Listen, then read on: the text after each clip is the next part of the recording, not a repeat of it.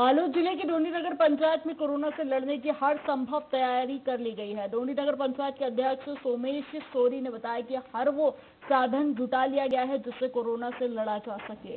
नगर पंचायत क्षेत्र के लोगों को मास्क और सैनिटाइजर का वितरण किया जा रहा है। लोगों से घर में रहने की अपील की जा रही है। सोशल डिस्टेंसिंग का पालन कराया जा रहा है। गरीब लोगों को सूखा राशन मुहैया कराया जा रहा है। हमारे पार्षद अपने अपने वार्डो में कार्य कर रहे हैं। नालियों की गंदगी साफ़ कर क्षेत्र को सैनिटाइज किया जा रहा है। हमारे साथ पूरा स्वास्थ्य अमला। सतर्क है, पुलिस प्रशासन मुस्तैद होकर काम कर रहा है। सभी लोग मिलकर काम कर रहे हैं। कोरोना से बहुत जल्दी मुक्ति पालेंगे।